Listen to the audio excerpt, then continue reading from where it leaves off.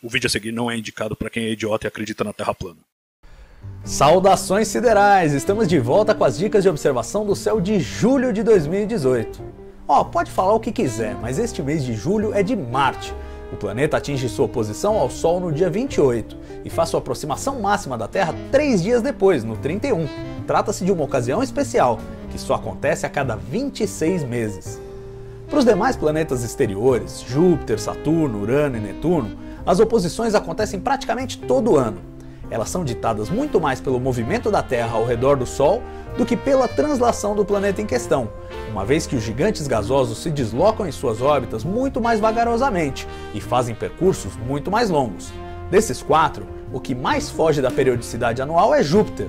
Suas oposições são separadas por 13 meses aproximadamente.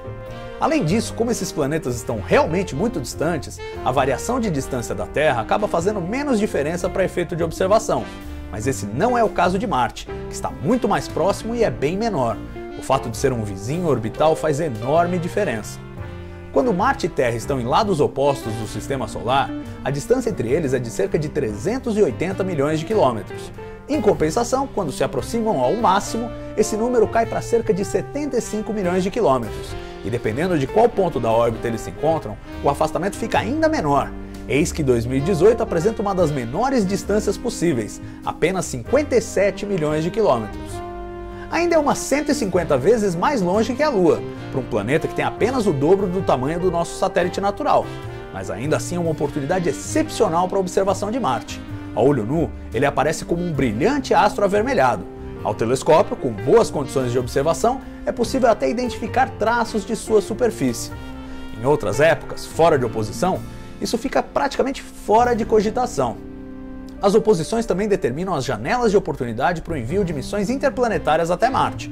Não por acaso, partiu neste ano a americana InSight, e as próximas saídas para o planeta vermelho só acontecem em 2020, ao redor da próxima oposição, quando partirão jipes robóticos da NASA e da ESA.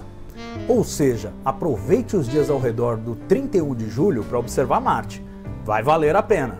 E aproveitando os olhos no céu por esses dias, acompanhe também a moderada chuva de meteoros dos Delta Aquarídeo Sul, que tem seu auge no dia 30.